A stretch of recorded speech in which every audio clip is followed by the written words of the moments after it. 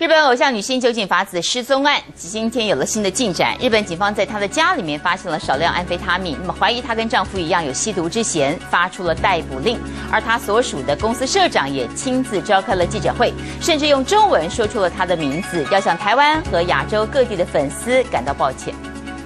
酒井法子失踪了第五天，日本警方怀疑她可能吸毒，因此对她发出了逮捕令。而酒井法子所属的事务所也召开了紧急记者会，公开出面说明。佐賀典子の件で皆様にお探せしましたことを心よりお詫び申し上げます。どうもすいませんね。今までもですね、そういうような装備さえ何も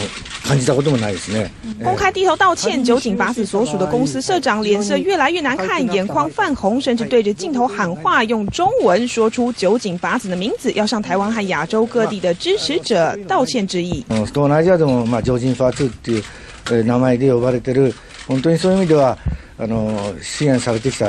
えー、されてきているタレントだと思います。何かあった時でもですね、励ましなり、えー、まあ。声かけないしていただければと。日本警方表示，酒井法子先生已经在供词当中坦诚，酒井法子也有吸食安非他命，而警方也在酒井法子的家中搜出了少量的安非他命，因此发出了逮捕令，全面搜查。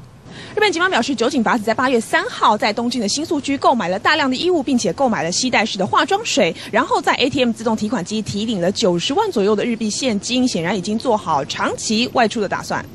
警方证实，酒井法子把儿子交给了东京的朋友照顾，自行离去之后，曾经用公共电话打给朋友，说要听听儿子的声音，之后就又下落不明。形象清新的酒井法子传出了疑似吸毒、逃避追查，酒井法子代言的广告活动也将全面撤换停播。中天新闻刘鹏宇、陈木奇日本东京场报道。